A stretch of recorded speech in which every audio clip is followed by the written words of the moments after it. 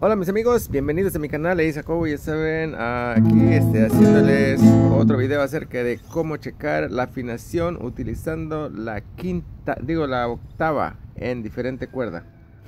Vamos a ver esta, aquí, este es mi, suelta sin tocar, al aire dicen por ahí, y luego se van hasta el tercer, hasta el segundo, segundo trazo de la cuarta cuerda aquí es mi también. Ok, entonces para checar la afinación de la, de la última, vamos a pisarla en el segundo traste de la cuarta cuerda y vamos a tocar las dos. Así. Entonces, la nota tiene que estar igual, pero en octava. Hay oh, ocho 8 este, tonos a partir de aquí hasta llegar aquí. Esta es la octava. Así se checa.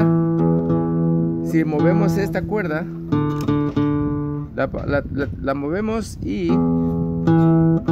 y ya cambia. Entonces hay que subirla para que esté igual.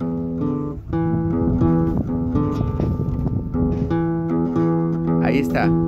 Vamos con lo mismo hacemos con la siguiente cuerda, la quinta con la tercera. Ahí está afinada. La movemos y ya no se va a oír igual. Entonces empezamos sexta y cuarta. La quinta y la tercera. En el, en el mismo trasto una cuerda hacia abajo. Ahora la cuarta la vamos a afinar con la segunda pero en el tercer trasto. Ahí se oye bien. Es la misma nota, pero la de abajo es octava.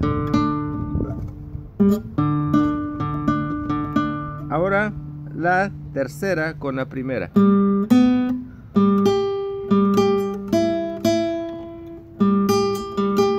Ahí está. Así que ya, así checamos todas las cuerdas. Afinación con la octava. ¿Empezamos? Ahí está.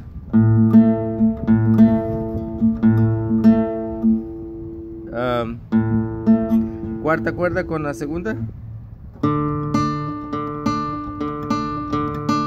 Tercera cuerda con la primera. En estas dos, en estas cuerdas se utiliza hasta la en el, ah, segundo trasto. Desde arriba hasta la tercera. Pero la cuarta y la, la tercera se, se usan en el tercer trasto.